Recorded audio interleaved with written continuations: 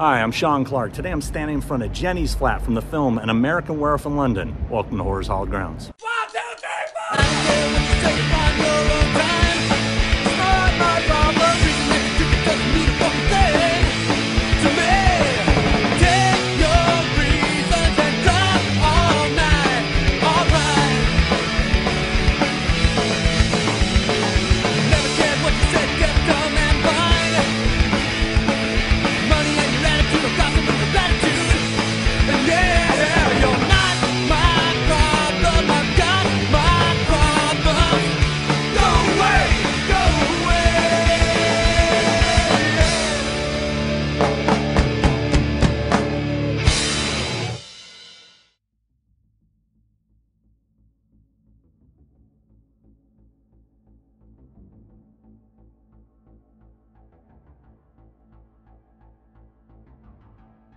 February 2nd, 1981. Day one. This is where it all began. The Moors. Wales, England. Stick to the road. As you can see here, they pull up, turn off here near the sign. That's where he lets the young men out. Now, this was not an easy location to get to, all the way in Wales, England, but definitely worth the trip. I mean, look at that beautiful view. You can't beat it. If you're a fan of the film, this is a must see. You gotta go. They get out of the truck, and then it heads down that road there and leaves them to start their little backpacking journey. I mean, look around. Isn't this a fun place? This next scene involves a little bit of movie magic.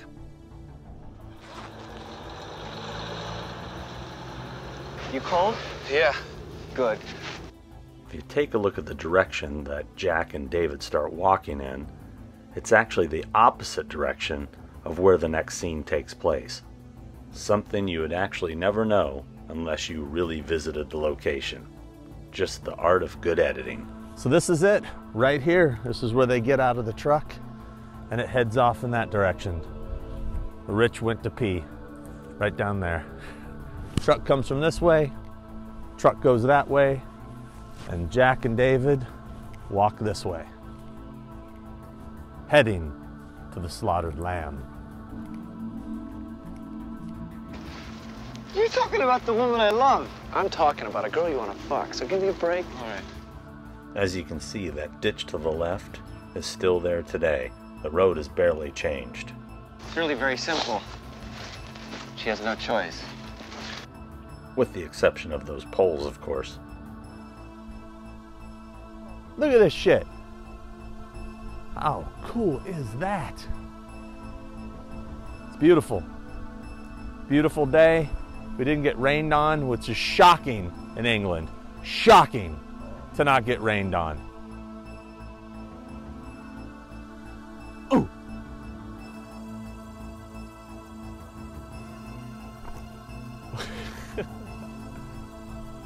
I had to scare him. Look at that lot. Fucking A. My hair stood tall and proud all day. Under the rain, not so not so sure. But hell yeah.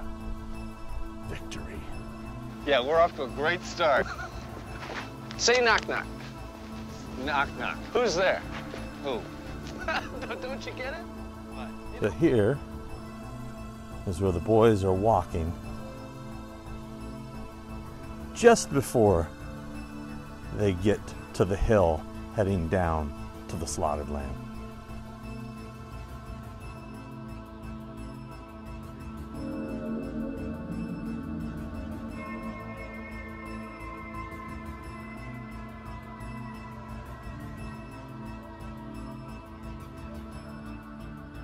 So this is where David and Jack first walk up to the slaughtered lamb. This is located way out in mystical Wales in Crickadarn. It's beautiful. It's quite quaint little town. Hardly any traffic except for this car coming up now, ruining my mystique. and it's not really a pub. The exterior of the slaughtered lamb is actually somebody's home. Let's go take a look at it right now. The slaughtered lamb. That's kind of strange. I don't know. Would you rather the Hilton? All right. But whatever happens, it's, your my fault. Right. All right, come on. And here's where the boys come out of the hell pub was that all about? I don't know. Let's go up the road and see if there's an inn or something. and they head in this direction. Down this road. Here.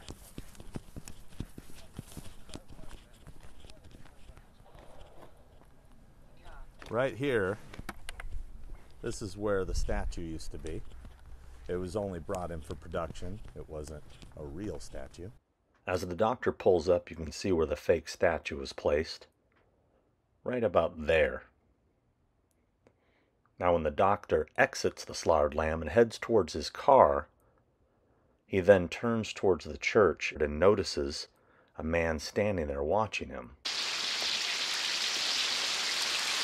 Look over his shoulder. You see that cemetery there? It's right behind these bushes. If you look closely, you can match up those tombstones over his shoulder, particularly this one here right in the middle.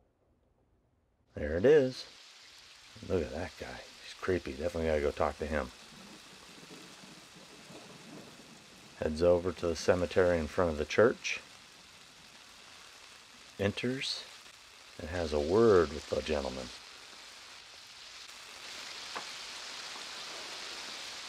Right here. How you doing? Trying to find the uh, American Werewolf in London locations. I don't know if the, I know this was used in the film. Do you know where some of the other ones are around here? Uh, maybe maybe some up the um, up the. hill. That's enough! That's enough.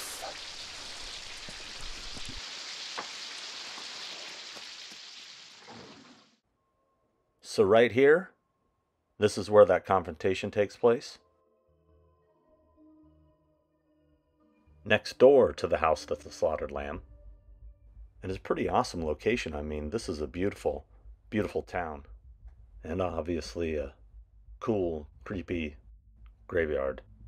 I thought it'd be fun just to take a look around this church, just so you can see how cool this location is. I mean, look at that graveyard goes way back there. It's so awesome.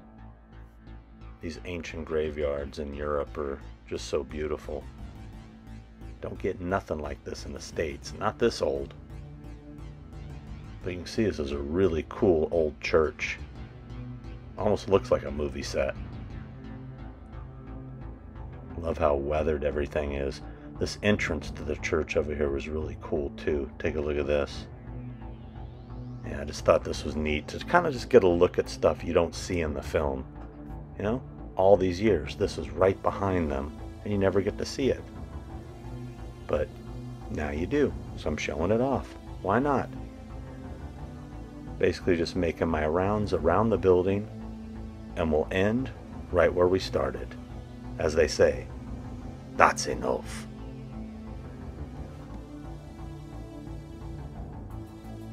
Monday, February 9th, 1981, day 7.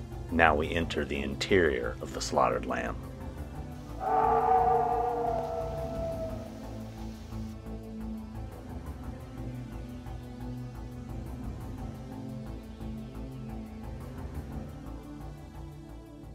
Now we're at the real entrance of the slaughtered lamb and with my friend Paul Davis. We've known each other a long time and since then he's made the documentary Beware the Moon, he did the book Beware the Moon, you've written and directed projects for Blumhouse and you also have a website now, correct? A YouTube channel. Or, Yeah, excuse me. yeah, just Uh, trying to keep myself uh, a little bit creative in, in between some uh, some film work. Uh, it's called UK Retro Reels, where I essentially try to recreate uh, a UK cinema experience. and uh, you'll see that right here. You'll see the link right here on the screen. There see you go. it? Magic. Uh, and I've I've made uh, a UK reel for an American Werewolf in London, so you can check that out in my archive. and inside this is the interior of the slaughtered lamb and one thing you'll notice is that the door is very different on the outside as opposed to the inside kind of a continuity flaw really but at least it opened the correct way Yeah, it opens, they go in, the story continues. So we're gonna go and we're gonna have some food and take a look around. Let's so let me follow you, sir. Sounds good. Make sure you duck.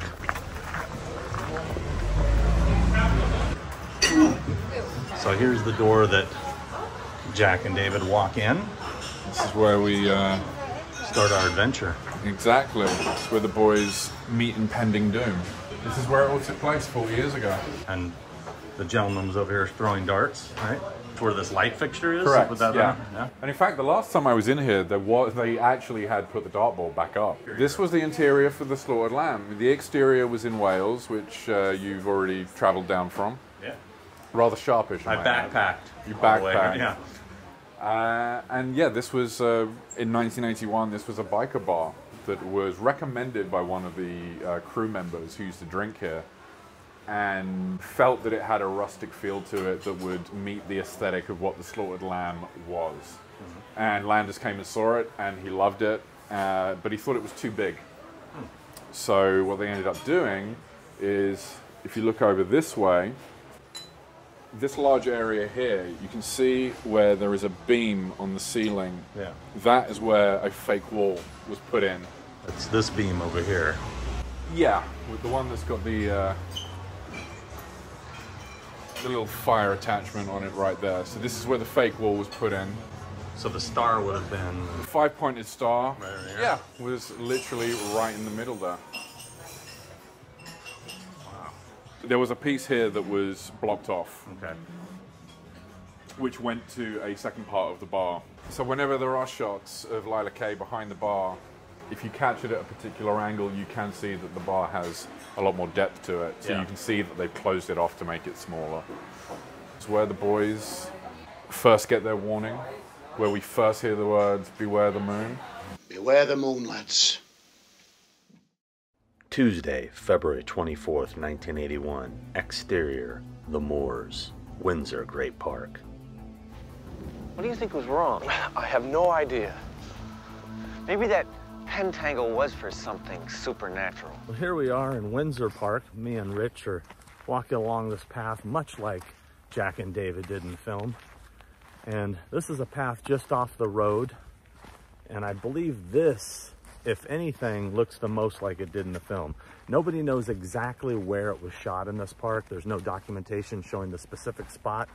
But from what I can see here, this to me looks the most like it. Um, take a look off to behind me over here. See how this area is open you know little bit of bushes those trees. I mean it's been 40 plus years. God only knows what could have grown in that time. But this definitely looks like it could be the spot that doubled for the moors. We know they shot it here. We just don't know the specific area. But the lads veered off into the bushes over here. So you can see this looks a lot like it so then the lads would walk out off of the path and head out into this mess. This really does look a lot like it, Rich. I mean, how there's these patches. I agree. And look how far apart the trees are that have been planted. Something just seems to tally up with me from what we see, even though it's dark. Yeah. And of course, there was only, there'd only be a couple of foot high back then. So, you know, we're not going to pinpoint it, but I, I certainly feel we're in the right place. Well, this is as good as this is going to get, unless we can find a piece of Jack's body lying out here somewhere.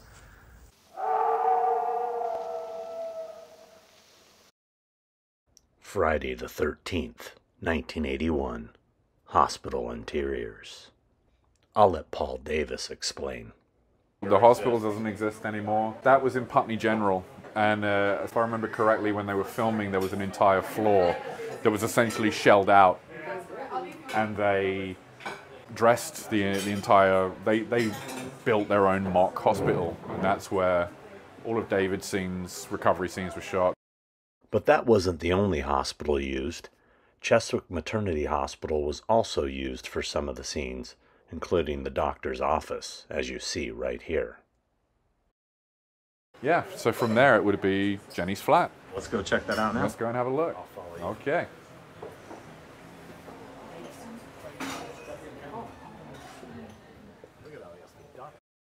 All right, we're heading over to the American Bar from London, Jenny's flat. which is this one right there. With the blue door and the little bird in the window. That's where David Naughton tried to get in when he locked himself out. I thought it'd be fun to throw in this footage from the first time I went to London back in 2002, just to show you how stoked I was to see these locations for the first time. Old school video recorder, what a difference.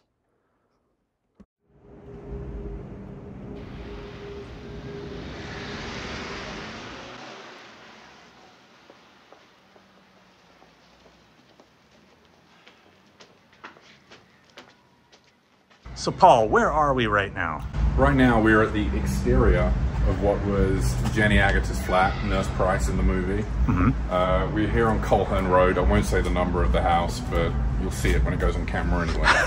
uh, but uh, this is where David gets locked out of the flat and tries to get back in through the window. This middle window right here, Mm-hmm. um, you know, the little stoop right there is where you get hit stabbed by the cat. This sidewalk where I'm standing right now is where the two creepy little girls start giggling at him. um, and here's the little uh, altercation with the dog that knows what's up. Yeah. Um, and yeah, essentially the, this this was uh, the exterior that they used. Now, when it came to the interiors, they'd already built the Alex flat on the stage at Twickenham Studios.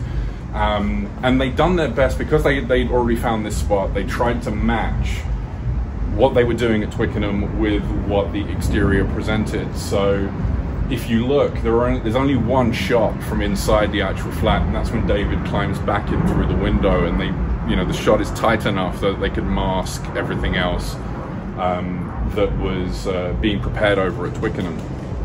But one thing that they, they didn't take into consideration is there's one shot after Alex and David come across the street and they go inside the flat for the first time. When they actually go inside the uh, hallway, there's a door on the right hand side that wasn't actually there. So they built a fake wall so that it would match the door that they had on the interior set. Ah. So um, that's how they got around that. But uh, yeah, this is, this is the place and it still looks exactly the same. And 40 it's- years later. And it's currently vacant. It is. And- no and- werewolves here. Yeah. So unfortunately, we can't get inside because nobody lives there. But you can actually see in through the window right here, and you can see that you know, right here. This is the bench that David climbed onto from coming through that window right there. And you can see they matched it very, very closely because if you look, if you look at the fireplace there, it it looks exactly like the one in the film. It's, it's pretty identical. Yeah. I mean, so they did a really good job of matching that. Beautiful church across the street. You know, that's St. Luke's. Yes. Yeah, really St. nice. Luke's Church. And one of the things about this uh, this area, it was very central to a lot of the other places that they were that they were using for the movie, because Landis at the time was based in Chiswick, which isn't too far away. So um, it was easier for him to get to in the morning when they needed to go on location. The dream sequences of David running through the woods were shot in the woods just behind Pinewood Studios. The exact spots are unknown.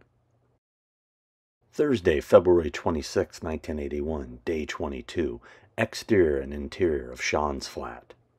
No, not my flat. Sean in the movie. So here's the scene where the posh couple pulls up and parks in front of the building right here. The car pulls up here and the couple gets out. Which one, Harry? Number 39. They start to head into the building here and they decide to play a little prank on him and head in this direction.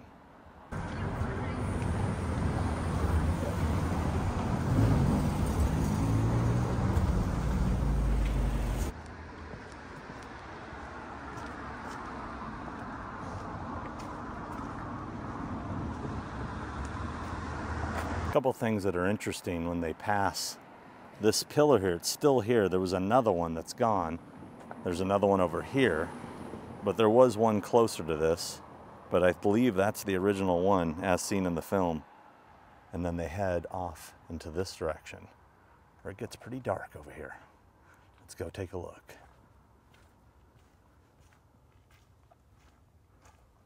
Now this is like legit, like the frickin' movie right here.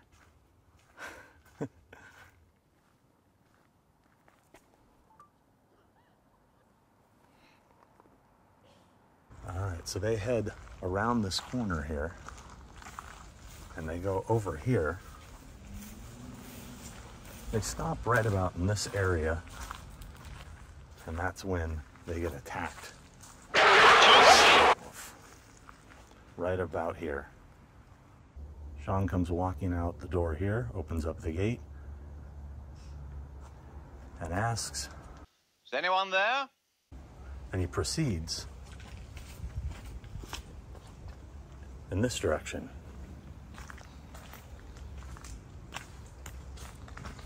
Walking around here a little bit, looking to see if he can find anything. Then he steps on something. Looks down, and it's a hand.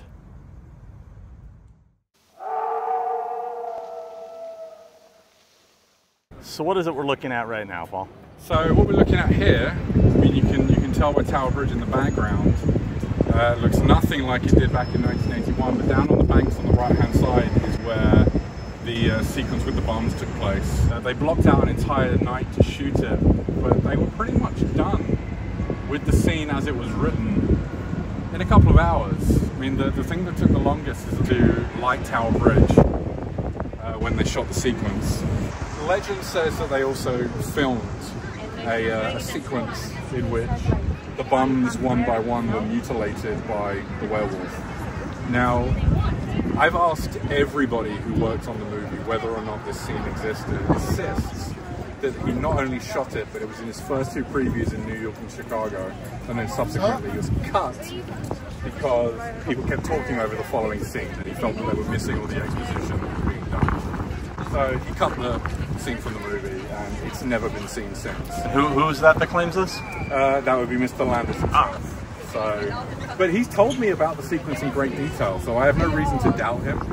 But But just- you have a reason to doubt him. but, but just the fact that nobody else who was there that night remembers it, and the three actors who, who played the uh, the derelicts are no longer with us, sadly, and, and had already passed away by the time I'd done both the documentary and the book. So haven't been able to confirm it either way. But Landis insists that it exists, but it's uh, it's lost to uh, to myth. It's folklore. legend. It's folklore. There's no evidence, there's no photographs from the scene, there's nothing. Correct. Okay. So- But that would have taken place right down here. Absolutely, yeah.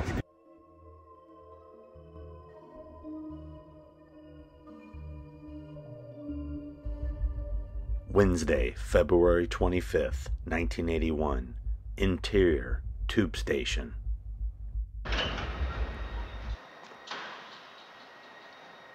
This is the station.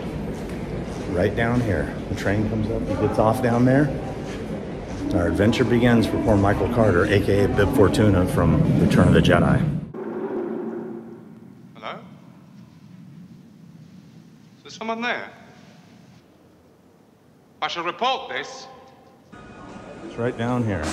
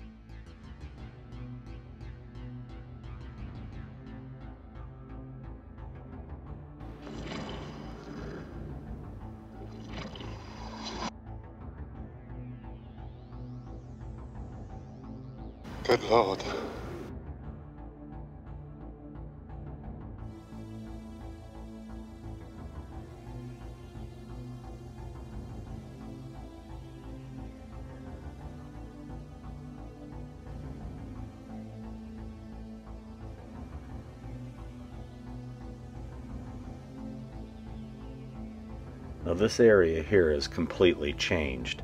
This is it today. Now, if you look here, down this hallway, there used to be a pipe that went down the center and divided it. And right here was that half circle. I took a photo of it when I visited back in 2008. You can see it right here when it still existed before it was remodeled. Now, this area that he runs down after he comes around the corner, this is that hallway with the dividing pipes down the middle. There it is in 2008. This is also the same one he jumps over right here. And there's a photo again, 2008. Unfortunately, those spots don't exist anymore as they were in the film. But everybody knows this spot. Come on. This is where things are about to get real. Real bad for Mr. Carter. Look at that. Uh oh.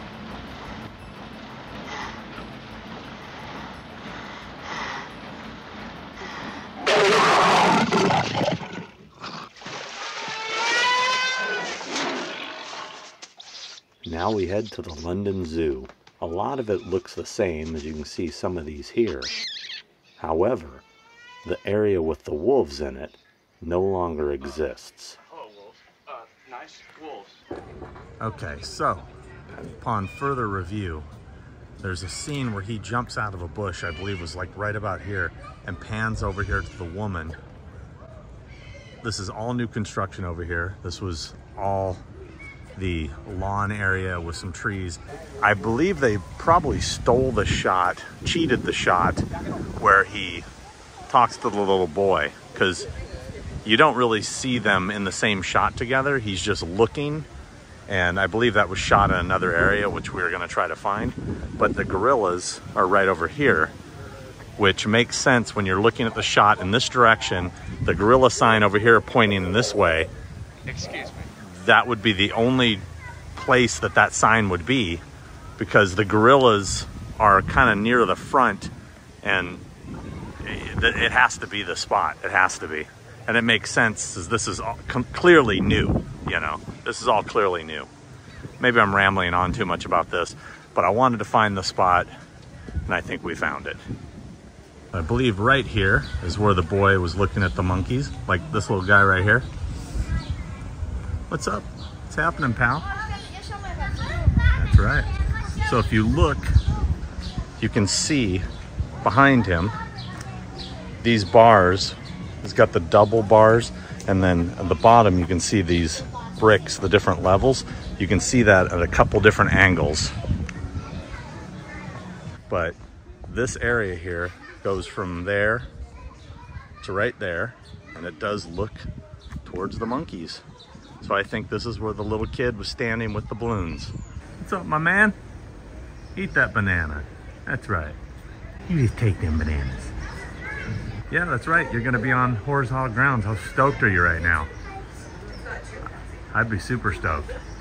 You're going to become famous in the United States. Trust me. Yep, no, famous. I'm not kidding. Yes, love? A naked American man stole my balloon. What?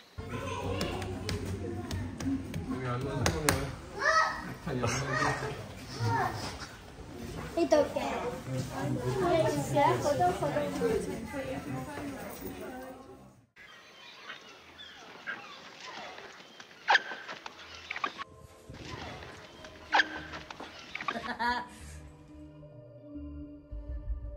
This is the scene where David runs by and grabs the coat. The bench would have been right about here. He runs from that direction, grabs it, and continues that way. This is one of the only locations left at the zoo that looks exactly like the film. Right here.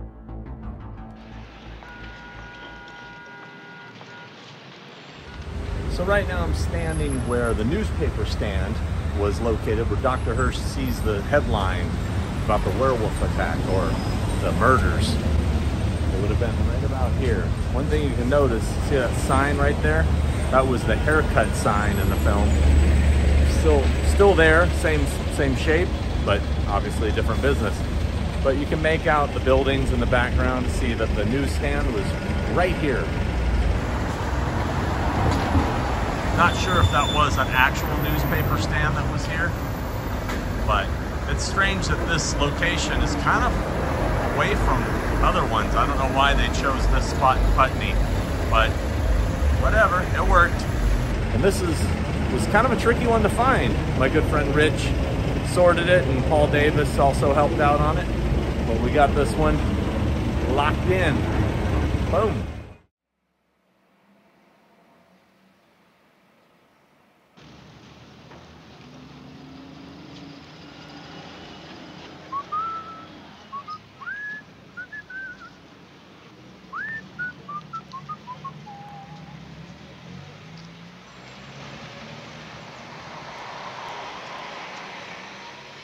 A lot of weather we've been having lately.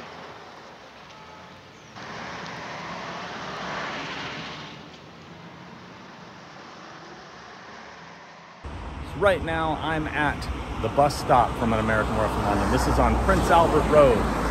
One thing you can match up in this shot is these buildings in the background. You can see them quite clearly. Let's take a closer look. It appears that the bus stop might have been a little bit over to the right where it used to be.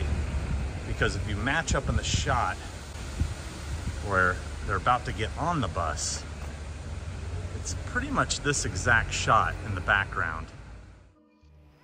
We should be able to get a taxi here. You know, I should be committed. Here we are. Cut to her. This is where Alex and David are heading to the cab. Notice this post box still here, looks the same. They walk past number 35. This is after the night David had where he can't remember anything, but he feels rejuvenated, like a new man. And he's about to find out why. They walk along here, see this door as well. And parked right here where these motorcycles are is the cab that they get in. They get in the cab, and unfortunately, David finds out a little secret about himself.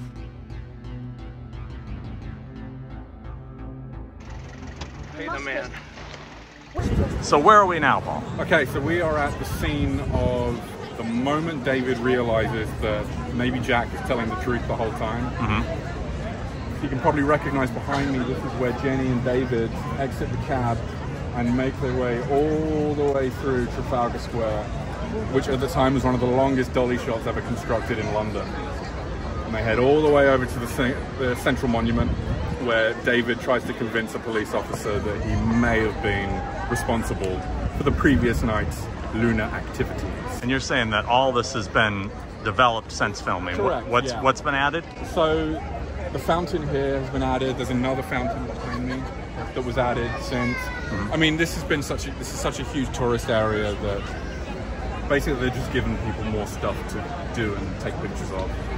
So, um, but at the time there was a lot more space for them to add a, a 60 foot dolly track and uh, have an entire camera crew behind it that, uh, that could set it up. But, but that was one of the things with this movie. I mean, given you had the whole big stunt sequence in Piccadilly Circus, which naturally you would have to get permission for and you would have to talk to the local police.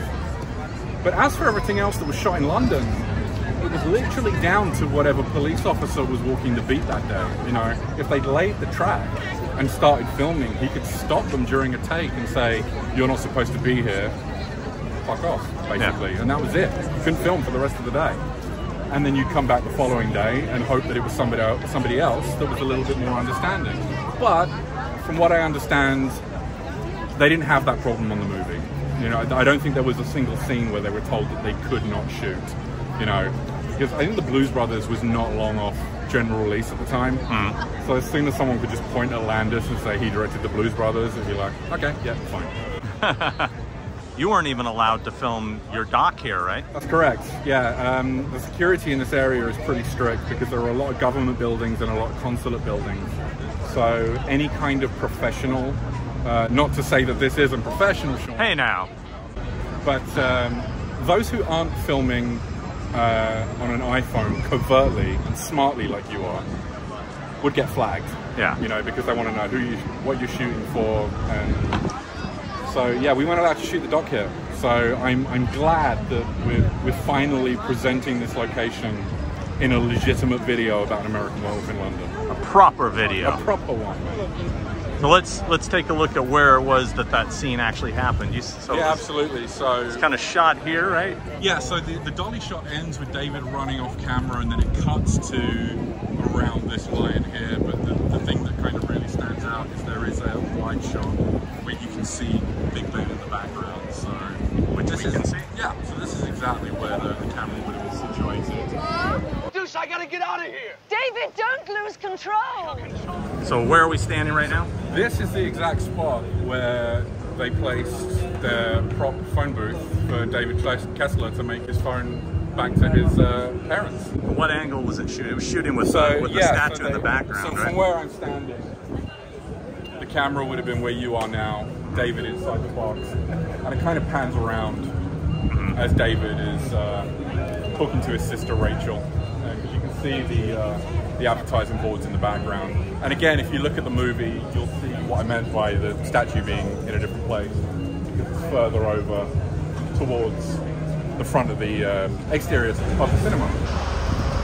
Uh, yes, operator. I'd like to call the United States and reverse the charges Sean Clark. for anyone.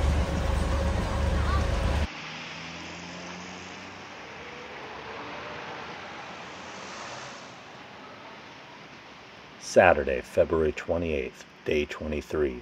Exterior Piccadilly Circus and Eros Cinema. Paul, where are we right now? We are at the scene of the crime, as it were. The finale.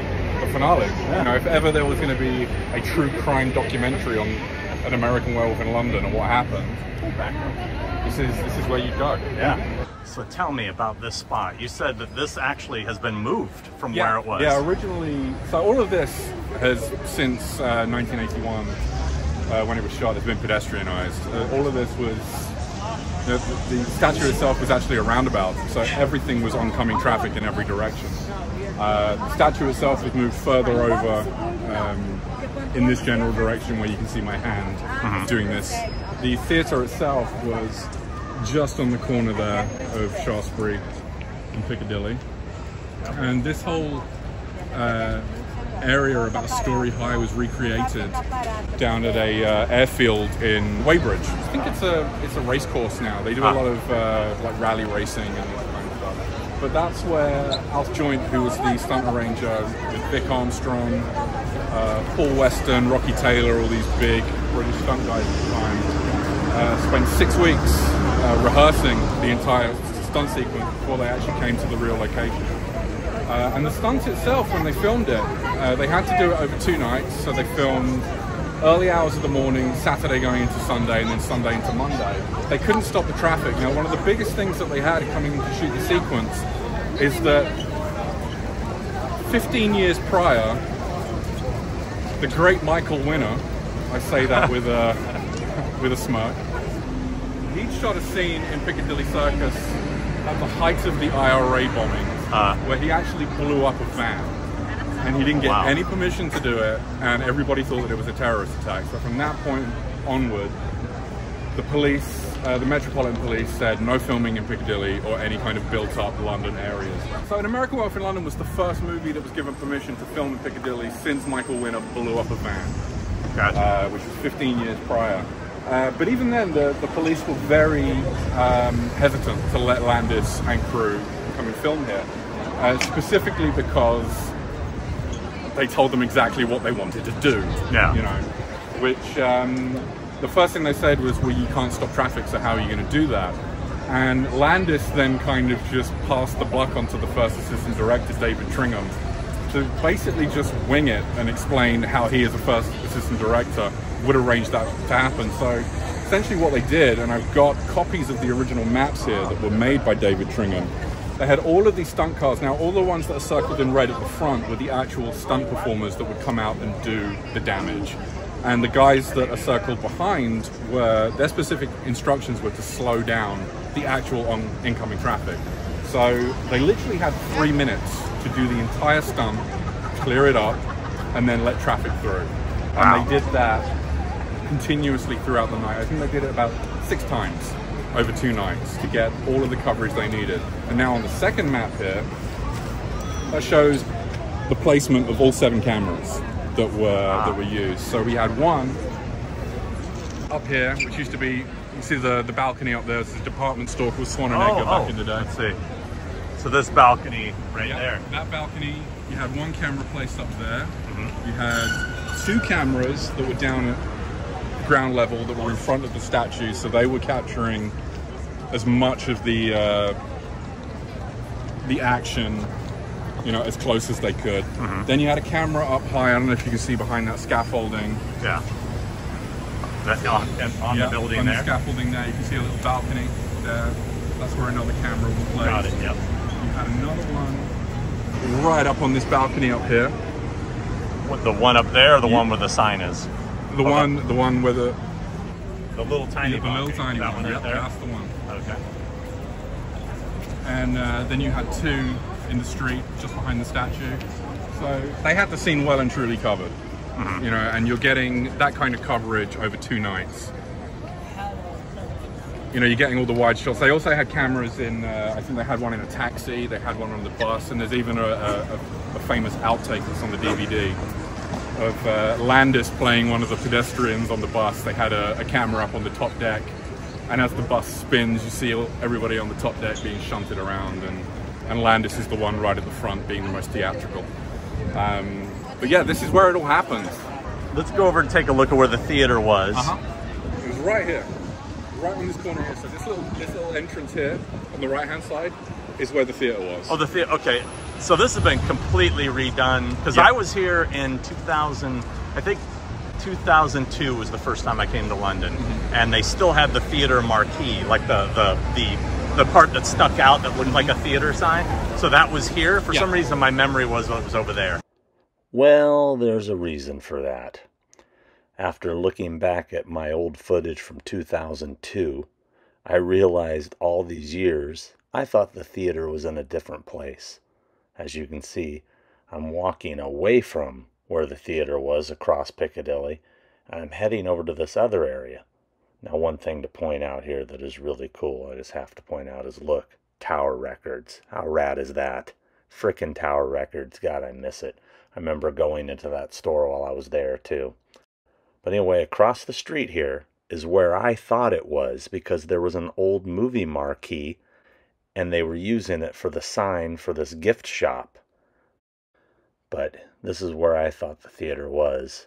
And even the second time I came back in 2008, I still thought this is where it was. And clearly, when I was talking to Paul, in my head, I was still convinced maybe I was in the wrong spot until he pointed it out to me. And of course, in the editing, you discover all kinds of things. You start to realize, oh, this is there, that is blah, blah, blah. But as you can see, it says cinema.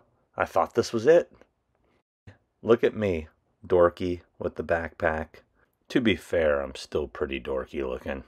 But back then, what made it even worse was I had glasses and a flavor saver. Come on, man. What was I thinking? Anyway, let's get back to the episode. Ugh. Now this used to be uh, this whole area goes. It used to be like a little food court. So Okay. behind there, it kind of goes in, and then there were little storefronts on the inside there, which again had changed since it was in in 1981, because this is where like the Bureau de Change would be, Uh-huh. and all that kind of stuff. Where Landis went through the window. The uh, the theatre was operating until 1985.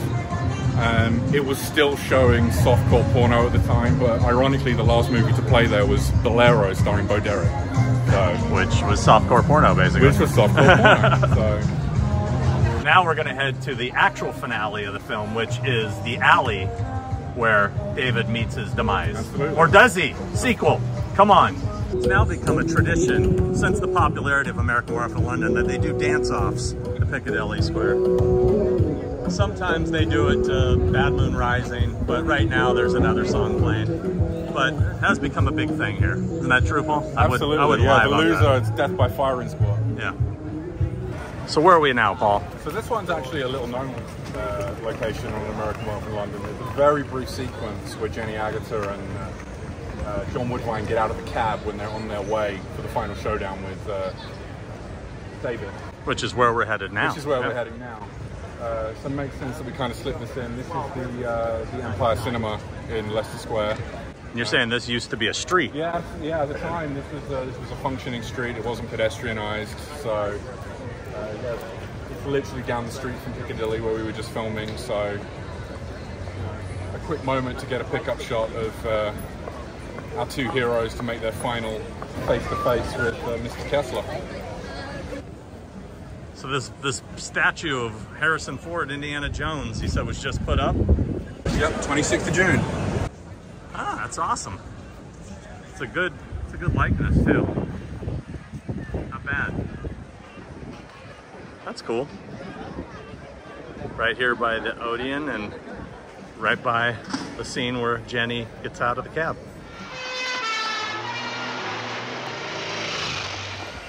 So where are we at now, Paul? So we are at the spot where a lot of people, including yourself, I made the mistake in my horizontal grounds article in the magazine, but I'm here to I'm here to fix that in the video episode. We're fixing it now. So a lot of people seem to think that the the final alleyway at the end of America, uh, the final alleyway in American Wealth in London Yes. was shot in Winchester Walk, but uh, it wasn't. Which is right behind us, This right? is Winchester Walk right behind us. Yeah. It was actually shot one street over in Clink Street, which we're going to head over to now. Let's go check it out. Let's go. Friday, March 20th, 1981, Clink Street. So this is the tunnel leading to the alley. Yeah, on our way to the alleyway, there is a very brief shot of cops running through. If you look in the actual movie, that same little break in the archway, completely unchanged as it was 40 years ago. So, uh, yeah, I think we should head on down to the final alley. Let's check it out.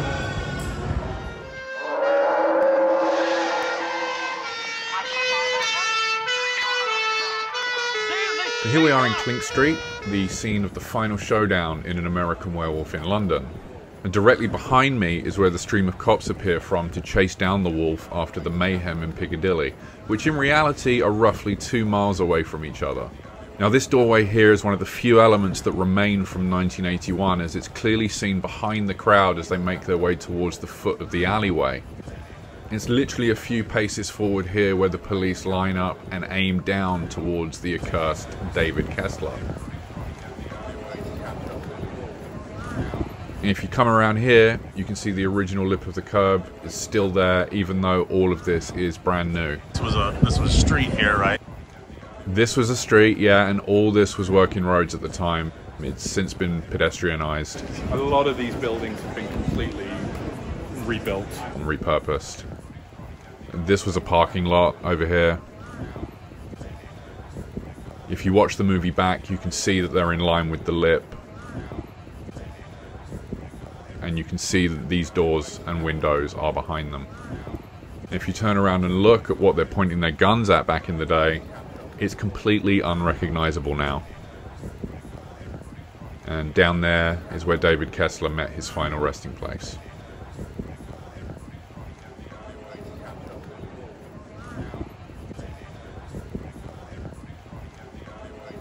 They built the false wall right by where the pillars are, and they had a hole in the back of it because they were using the full wolf suit, which had a plank out the back, so that the uh, the performer who was uh, inside the wolf suit, which throughout the production was a tag team effort between Kevin Brennan, who was one of Rick Baker's uh, original makeup crew, and a ballet dancer called Brendan Hughes, who they had seen during a dance sequence in the Sean Connery movie Outland.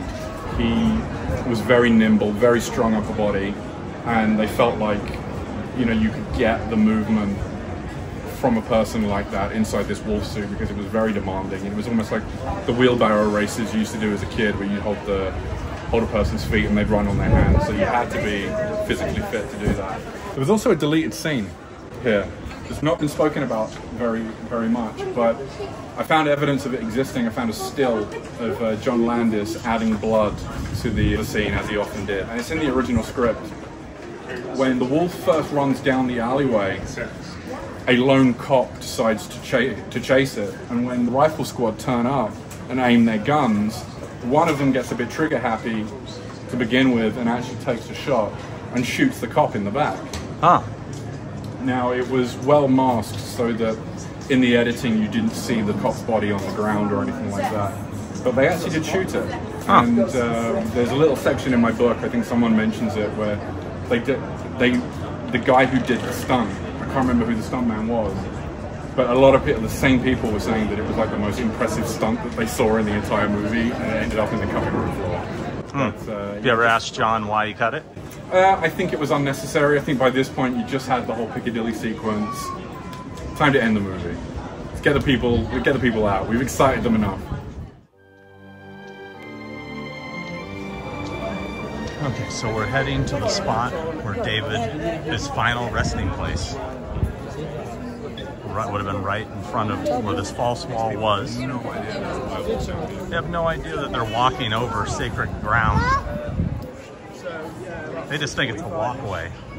Wouldn't it have been like roughly right here somewhere? And yeah, David Kessler would have been laying right here. And Jenny would have been where you are, Sean. With her In little- tears. Yeah.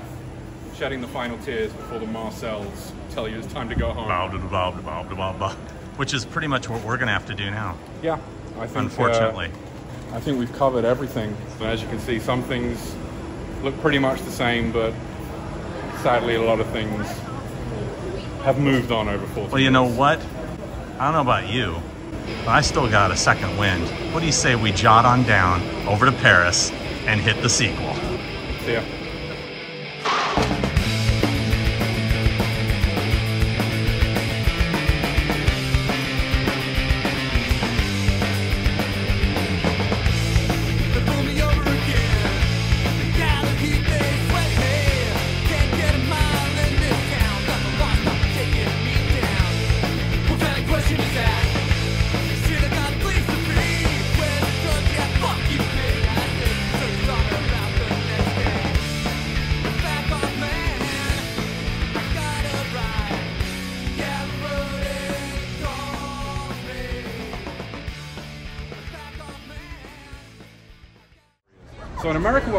Was the first. Oh, you attacked by here. Oh, yeah. Yeah, he, he likes your hair. He does. Here, let's. Look, now I'm getting attacked. That's a good outbreak. An American bee in London. There we go. the werewolf problem's been taken care of. Yeah. Bees, that's another thing. Yeah.